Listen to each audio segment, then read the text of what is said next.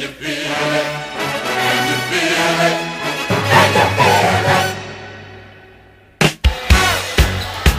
ε, Ισπανία ένα μεγάλο ταλέντο ανήκει στη Ρεάλ. Τον παρακολουθούσε από 15 ετών, τον απέκτησε σκοράρι απέναντι στον Μύρο Μιλάνη. Και της ελληνικής ομάδας στο ξεκίνημα του αγώνα είναι ένα παιχνίδι για να παίξει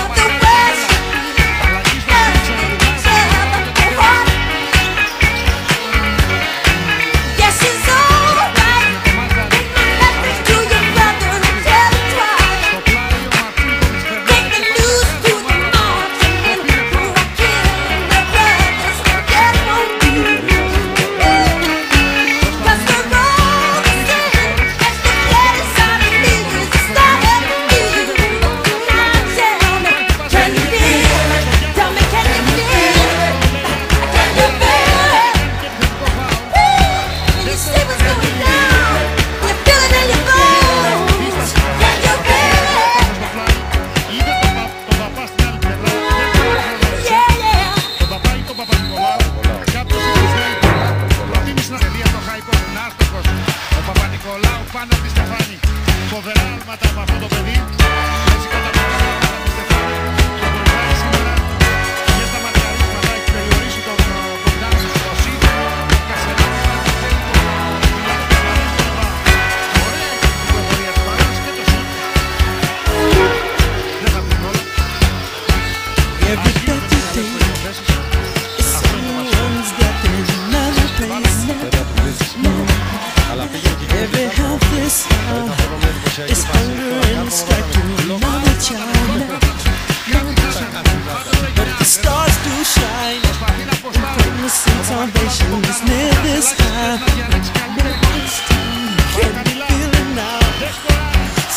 brothers and sisters.